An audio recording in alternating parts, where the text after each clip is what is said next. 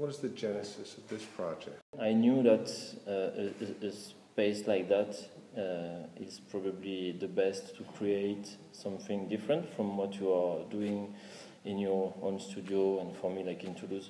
So it took me more than a year to come here okay. to do something because uh, I was busy and I didn't want to come on the rush. I didn't want.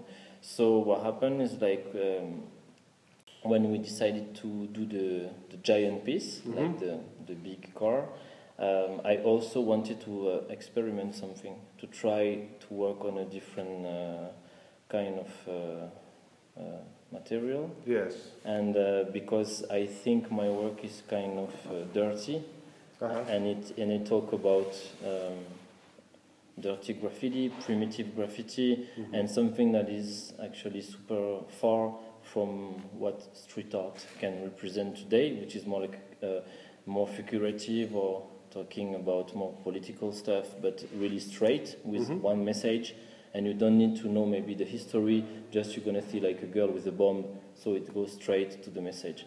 And I think uh, my work needs more um, history and more knowledge about what is graffiti, about the letters, about the texture, about accumulation and what, what, what is talking about. Uh, so that's why I wanted also not only to work with this ID, but also to work on something that is not um, like from the art world, like canvas and, uh, and stretch on a frame.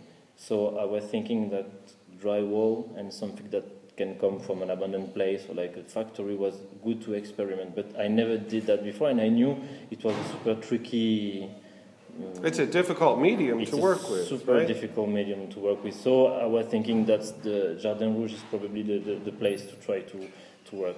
What I understand like about Jardin Rouge is that one of the core values is encouraging artists to experiment with uh, materials or, or techniques that you don't typically use. Yeah, yeah, yeah. And um, I think what we've seen by touring here in the last day or so is a number of artists are challenged to go beyond their comfort zone. Yeah, yeah, yeah. yeah. And um, and that takes a little while. It, it can't happen in one week.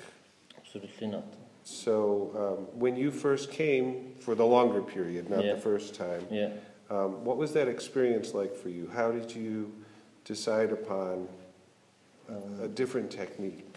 It's I think the the good thing is you don't have the pressure or you don't have the environment that you usually have when you are in your own studio, mm-hmm. in your own city, and surrounded by people you know, and people know your work, and people are expecting something from you. So you can be more free, I think. And then you'll be okay, let's try. And even if it doesn't work, even if it's a fail, okay, yeah. it's okay. It is. It's okay. part okay. of the game, and it's a huge space, and you, maybe you don't have to think about all the materials and stuff because it's also easy to get here, because like the structure is like so so well managed that if you need something, something is gonna come to you. So right. you don't you think totally differently. It's like a, a, a deluxe studio. Yes. And in a way, sometimes it's good to be uh, with. Um, how you say that like a, a, lack of material or something is missing and you're going to find something out of that and at the opposite when you are to be honest i didn't thought it could be it could happen to me but when you are like